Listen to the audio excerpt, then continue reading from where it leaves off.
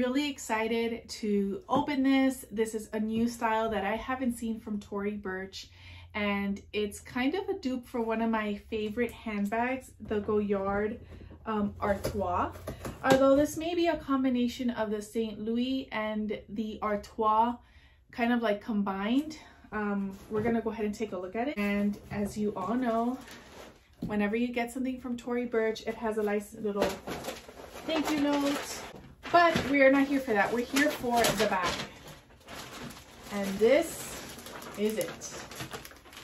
This is the Tory Burch Ever Ready Zip Tote and this is the color Zinc. Now, right off the bat, there is some color difference from what you see online to what you see here on camera, and I'm gonna put up a picture of it there. The vibe that I was getting from the internet was like a little bit more like beiges, like warmer tones. But this is just straight light gray, dark gray, cool tones all throughout and it really does feel like the Goyard. Let me go ahead and give you a spin of the bag. It is in coated canvas, which is nice and thick. It has this basket weave pattern. Now this bag does come in an assortment of colors. They have a blue, a yellow, peach, ivory, and this color, which they're calling zinc. There's the bottom of the bag. And up front, it has this little tab that says Tory Burch, New York. The handle and the trimmings on this are faux leather, but I'm not getting that plasticky type feel. They're very pliable and flexible like my Goyard Artois handles are, and they're about the same thickness and weight almost. You do have a zipper at the top, which is really convenient for keeping your things um, concealed. The zipper is brass, and then you have a nice faux leather um, zipper pull here which is kind of split like that, as you can see. The zipper is flexible. It does feel nice. I am able to open it with one hand. I don't have to tug or pull anything. And then the end of the zipper, you're able to tuck it in or keep it hanging out, whatever you prefer. It has two top handles with a 9.3 inch drop, so it's not gonna sit up too high on your arm or it's not gonna sit too low down the waist. It's gonna fit just right. And it's very light. It Again, it reminds me so much of the Goyard Artois and the Neverfull too Now, on the inside, you have this really nice, soft, cotton-lined material. It does have a removable zippered pouch and I'll go ahead and I'll put the dimensions for that here, but I'm gonna show you everything that fits in here. You also have one interior zippered pouch that is attached to the top of the bag, like so and it's a pretty big compartment.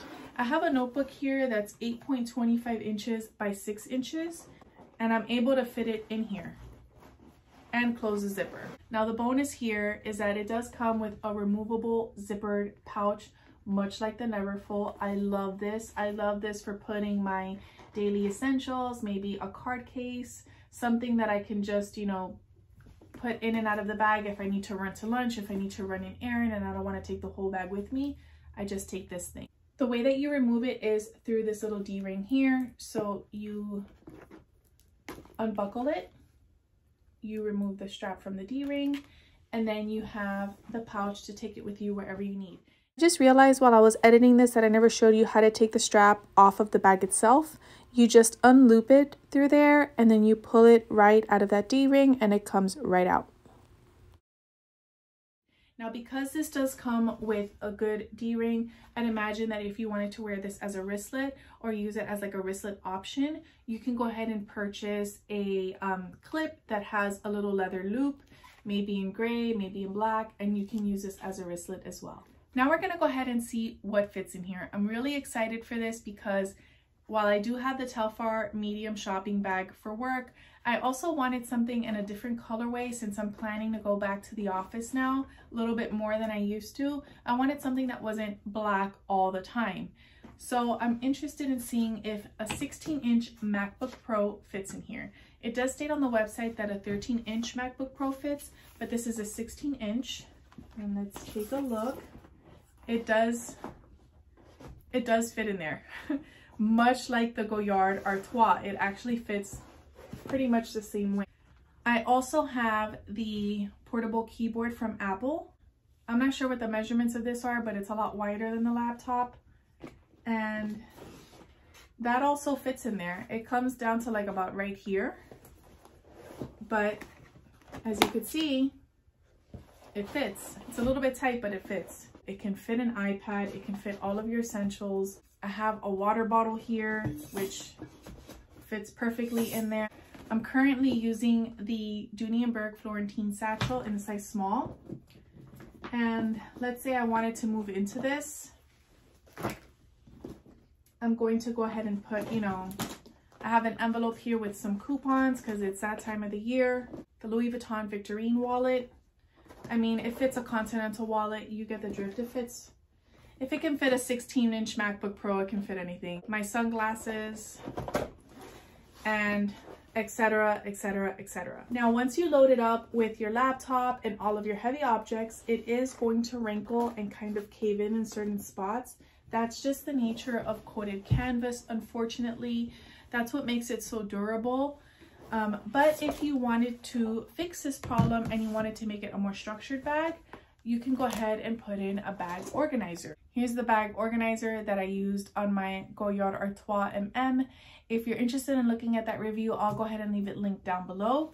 But this is from Ami Style and it's from Amazon. I'll have that link down below as well. But once you put that in, it fits nice and perfect and it gives some additional structure to the bag. So I'm gonna go ahead and put in my laptop again and my iPad to see if it continues to um, wrinkle up. And it does, but it's not as pronounced as it was before.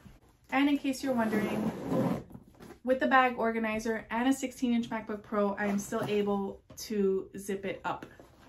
Now to go ahead and move into this cute little pouch. This is the pouch that I'm currently using. It's just a soft leather pouch. As you can imagine, everything that fits here is definitely gonna fit in here. So here is a Louis Vuitton Victorine wallet. It's pretty stuffed up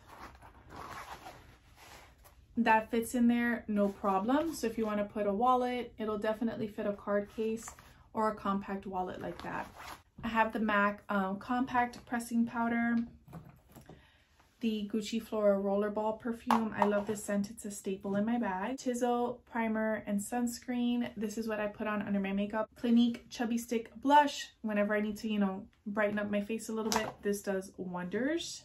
This is the Rouge Coco Lip Gloss from Chanel and it's in the shade 804. I always get this shade. It's just, it works really well with my skin tone. Some Revlon eyeliner.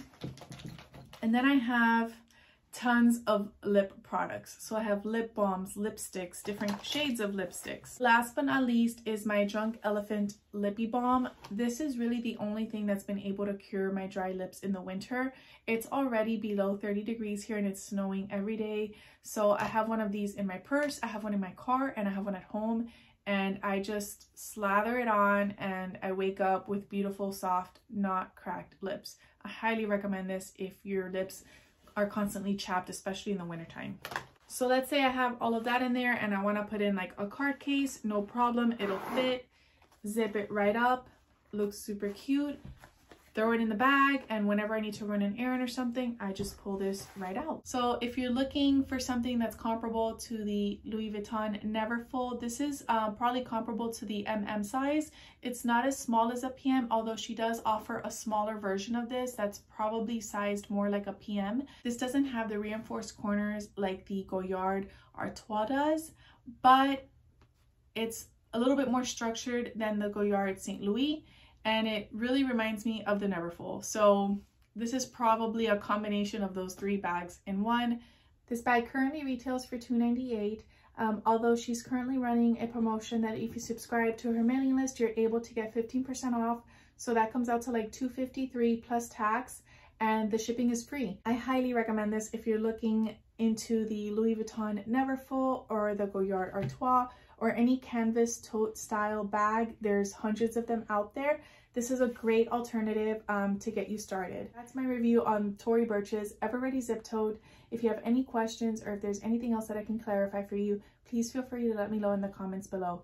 Thank you so much for watching and I hope you have a great day. Take care. Bye-bye.